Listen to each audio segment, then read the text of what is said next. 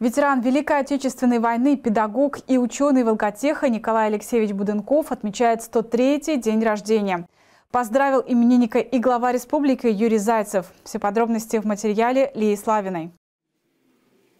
Дожить до 107, а дальше будет видно, делится планами Николай Алексеевич. Его жизненный путь – школа, призыв в армию и прохождение службы на Дальнем Востоке. А дальше началась война. В 41-м Николай с однополчанами охранял границу от японских милитаристов. Затем получил направление в Горьковское училище зенитной артиллерии. Однако произошло событие, которое заставило тогда еще молодого человека изменить планы. В боях под Смоленщиной погиб его брат. Николай, как и многие его сверстники, рвался на фронт.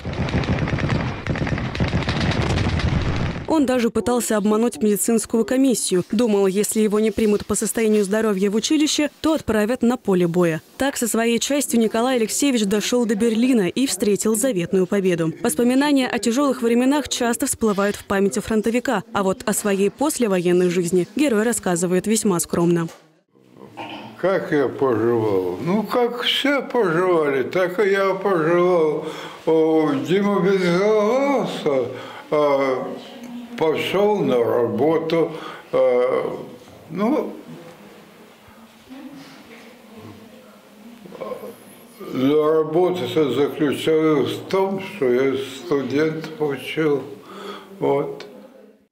На самом деле у Николая Алексеевича богатая биография. После войны поступил в Институт инженеров геодезии, аэрофотосъемки и картографии, преодолев большой конкурс. Было несколько предложений о работе в разных городах, но выбор пал на Ишкаралу. Здесь годы своей трудовой деятельности уже профессор и ученый-геодезист Николай Буденков связался с Волготехом. Глава республики Юрий Зайцев поздравил долгожителя и ветерана Великой Отечественной войны с днем рождения. Фронтовику исполнилось 103 года. И я еще долго. И желаю, чтобы удача ваша сопутствовала всей вашей В адрес фронтовика прозвучали теплые слова и пожелания ярко отметить 80-летие Великой Победы в следующем году.